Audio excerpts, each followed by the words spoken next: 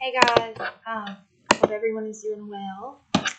I got something I would like to share with you guys today. Um, so this is an article that I wrote, um, I don't know, a few months back. It is called "The Name Above Every Other Name." Um, now, at the time, this was when the Lord was first leading me to start doing these videos. Um, but I honestly was too scared to post one because um, I've never done anything like this before. I'm usually a pretty shy person, a pretty quiet person, um, unless I'm around my friends or family. but so, anyways, I'm just gonna just gonna read this to you guys because um, it's got some really good stuff in it, some really good verses, and I believe that it may bless somebody. Um, so I'm just gonna jump right in. And also forgive me for this really like grainy looking camera and how awful it sounds. I'm I'm praying and believing that the Lord is going to bless me with a new computer to do this soon or a new webcam. Um, but for now, we are just working with what we've got, and praise the Lord, it's working out pretty good. So today we are going to talk about the name that is above all other names. Can you guess what that name is? That's right. That name is Jesus Christ. Um, in Hebrew, his name is Yeshua. That is Y E S H U A. Yeshua. Um, and that literally means the Lord is our salvation. He is our Savior. Um, this name is so powerful that it cannot be overcome by anyone or anything in heaven, on earth, and in hell. It's a name so mighty that even the darkness trembles at the mention of it. So we're going to look at James 2:19 and it says, "You believe that there is one God? Good. Even the demons, even, sorry. Let me start over. James 2:19. You believe that there is one God? Good. Even the demons believe that and shudder." Luke 10:17 says, "Then the 22 Ooh, y'all, I'm messing up today. Let me stop and pray real quick because I need some help from the Lord. Lord Jesus, I just pray right now that you please anoint my vessel. Please remove all anxiety and all fear. Let all the striving cease. May the words that I speak be your words only. Please remove any any of my own words from this situation. I only want to speak your words, Lord. In Jesus' name, amen. All right, so told y'all guys I'm pretty shy. Luke 10 17 says, And the 72 returned with joy and said, Lord, even the demons submit to us in your name. James 4 7 says, Submit to God, resist the devil, and he will flee from you. And notice it says he will flee, not he may flee. I know that's kind of off topic, but I just want y'all to know like, we have kingdom authority. We have authority to trample on the heads of serpents. We are able to tell Satan, get packing you know go.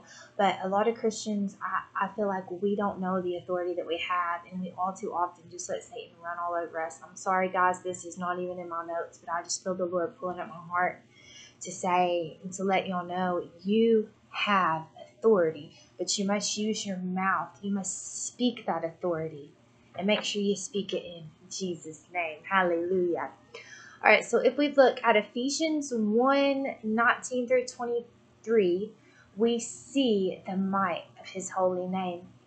So it says, And what is the immeasurable greatness of his power towards us who believe, according to the working of his great might that he worked in Christ when he raised him from the dead and seated him at his right hand in the heavenly places?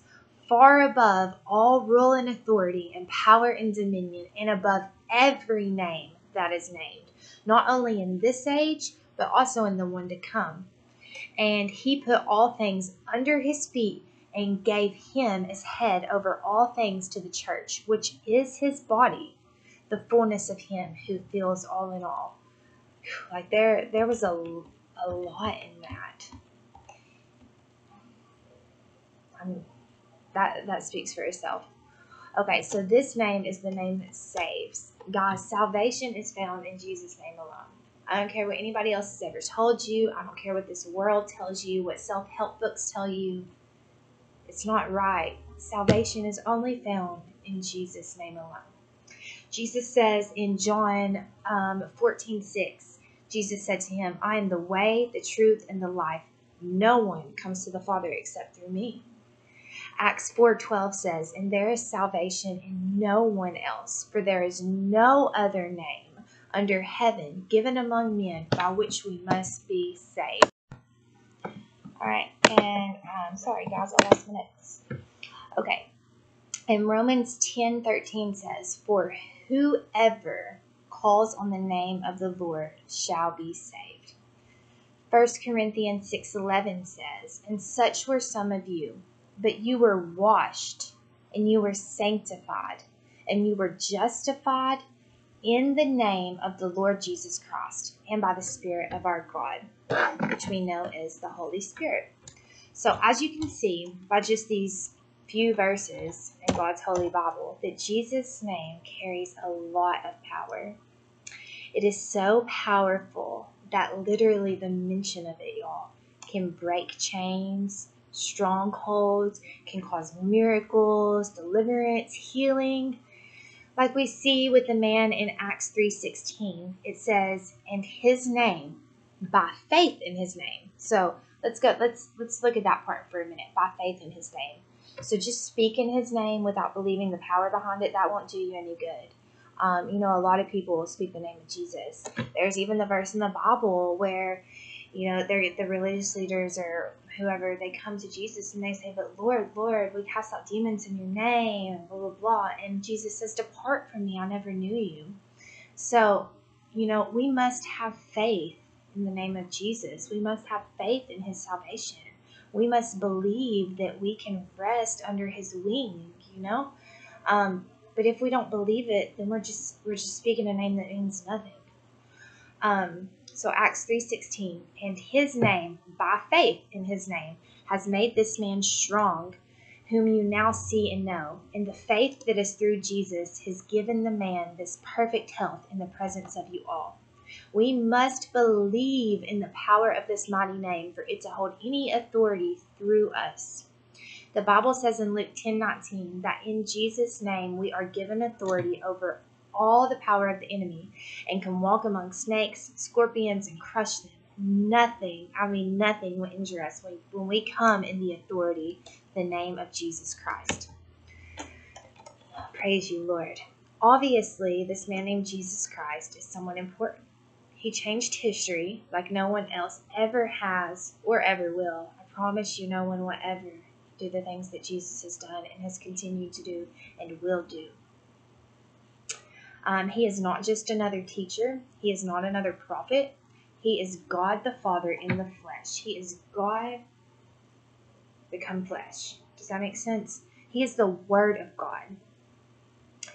God became man to model for us how we are to live, how we are to treat others, how we are to serve.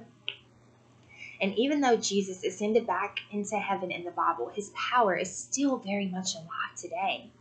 And it lives in all true believers through the power of the Holy Spirit of God within each of us. And not only that, but Jesus is coming back very soon.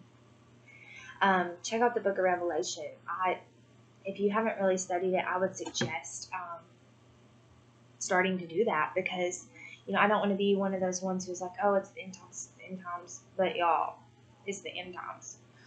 Um, and when Jesus returns, he will retrieve his church, his bride, and we will then live with him for eternity in paradise. Hallelujah. I cannot wait for that day, Jesus. Please come soon. So today I challenge you guys if you know Jesus and his power that lives in you, that is great.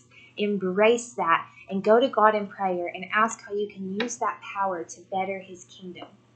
And if you're reading this today and you're like, I'm not sure if I have that power living in me, um, then that's totally okay and normal. I've been there. Um, but here's what I want to suggest to you today that you get real with God, that you just humble yourself before Him, that, that you let all your pride go, um, and you ask Him to pour His Spirit out on you today. We can have as much of Him as we want. That's what His Word says. In Jeremiah 29 13, it says, You will seek me and find me when you seek me with all your heart. And God will see your desire and he will see your effort and reward you for it, as it says in Hebrews 11:6. He rewards those who diligently seek him. God wants all of his creation to come to know him, and you are part of his creation. Despite what you may have heard from some religious leaders, Father God does not want anyone to go to hell. It wasn't even made for man, it was made for Satan and the fallen angels. But God loves us so much, y'all, that He wants us to have free will. So He lets us choose, you know, which path we want to take heaven or hell, this world or Him, good or bad, dark or light. And He already knows you better than you could ever know yourself. And He craves more intimacy with you today, a personal relationship. So if you don't already have that, please take the Lord God up on His offer of grace and of salvation today. If you do already have an intimate relationship with Him, then I just suggest that you pray for Him to go deeper with you. I mean, He will always respond positively to a prayer asking Him to reveal Himself more to you. You know, I ask Him all the time on a daily basis, Lord, here I am, feel me. I want to be a vessel fit for your use, Lord. Just feel me, less of me and more of you. God, God, guys, God is good. I'm getting tongue tied today. But God is, He is good and He loves you. And He wants to fill you with His Spirit and with His power. He has great plans for you. It is not by chance that you are listening to this video. You know, it is, everything is divinely inspired. And, you know, God's plans will prosper. So I just want to pray for you guys. Um, I love you guys and I thank you for watching my video. Um, so please make sure that you like and subscribe and share and all those things. Um, and if you have any suggestions on like things that you would like my video to be about, just maybe leave them in a comment section or something. Um, and I will check them out and we'll see what we can do. So, um, Heavenly Father, holy is your name. I just pray for the one that is watching this through the screen right now. I pray that you just touch their life in a new way, Lord. I pray that you reveal yourself even more to them. Um, and if there's anyone that is watching this that does not know you as their Lord and Savior, I pray that they come to know you today. I love you, Lord, and I thank you for the opportunity to do this. Please bless every single person watching this. In Jesus Christ's name we pray. Amen. Amen.